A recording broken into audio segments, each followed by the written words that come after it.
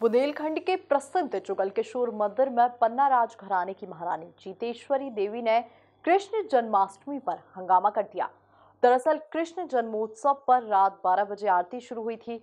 इस दौरान जीतेश्वरी देवी आरती के बीच से उठी और गर्भगृह में जाकर पुजारी से चंबर छुड़ा लिया और उनके साथ अभद्रता करने लगी, जिसके विरोध में अब पुलिस ने एक्शन लेते हुए महारानी को गिरफ़्तार कर लिया है। देखिए, इसी पर हमारी खास दरअसल प्रदेश के बुंदेलखंड अंचल वासियों की आस्था के केंद्र पन्ना के श्री जुगल किशोर मंदिर में भगवान श्री कृष्ण के जन्मोत्सव के दौरान महारानी जीतेश्वरी देवी के द्वारा हंगामे का मामला सामने आया है, जहाँ श्री कृष्ण जन्माष्टमी की मध्यरात्रि में पन्ना के पूर्व राज परिवार की महारानी जीतेश्वरी देवी ने पुजारी से चंबर छुड़ाई और भगवान की आरती करने के लिए मंदिर के गर्भगृह में जबरन प्रवेश किया और फिर मंदिर पुजारी के साथ अभद्रता की गई।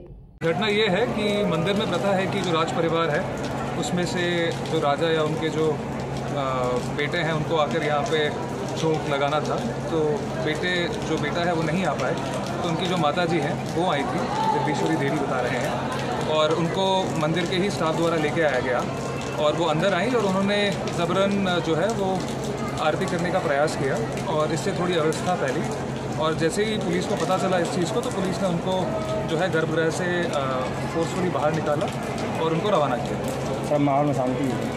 जी? शांति है सर? अभी तो शांति है अभी तो आप जैसे देख रहे हैं कि शुरुआत में जो है दो तीन मिनट का ये था उसके बाद जो है कार्यक्रम पूरा व्यवस्था से चल रहा है। आगे क्या तरह अभी इसमें देखेंगे अभी जो वीडियो है वो भी इसका अवलोकन करना पड़ेगा और जो सही रहेगा उस हिसाब से हम लोग विधिवत कार्रवाई थैंक यू सर वहीं इस पूरे मामले में अब पुलिस ने एक्शन लेते हुए मामला दर्ज कर महारानी जीतेश्वरी को गिरफ़्तार कर लिया है। वो चल रहा था उसी समय, जैसा कि मंदिर प्रबंधन समिति की ओर से यह शिकायत की गई है कि श्रीमती जीतेश्वरी देवी, जो कि राजमहल पैलेस पन्ना के निवासी हैं, उनके द्वारा वहाँ अनधिकृत तौर पर ज़बरदस्ती गर्भगृह में प्रवेश किया गया और वहाँ ज़बरदस्ती चावर प्राप्त कर उसे असंयमित तरीके से हिलाया गया और साथ ही जो आरती थी उसे बुझाने का प्रयास किया गया जिससे कि मंदिर प्रबंध समिति के अनुसार वहाँ उपस्थित श्रद्धालुओं की आस्था को ठेस पहुँची और भगवान का अपमान हुआ।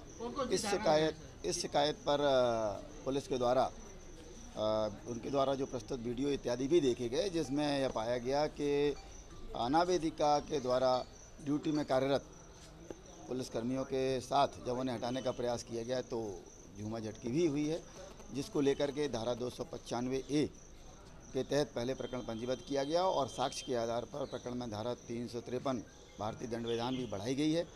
प्रकरण में आरोपी श्रीमती जीतेश्वरी देवी को गिरफ़्तार कर लिया गया है। उन्हें आज माननीय न्यायालय के समक्ष पेश किया गया एफआईआर में है कि शराब की नशे में थी? मंदिर प्रबंध समिति की शिकायत में यह बात आई है कि वह शराब के नशे में थी, इस संबंध में भी परीक्षण कराया जाएगा। हम आपको बता दें कि जुगल किशोर मंदिर में जन्माष्टमी का पर्व मथुरा वृंदावन की तरह मनाया जाता है। यह परंपरा करीब 300 वर्षों से चली आ रही है। यहाँ पन्ना राजघराने के महाराजाओं की उपस्थिति में पूजन होता रहा है। Bureau report MP news, Panna.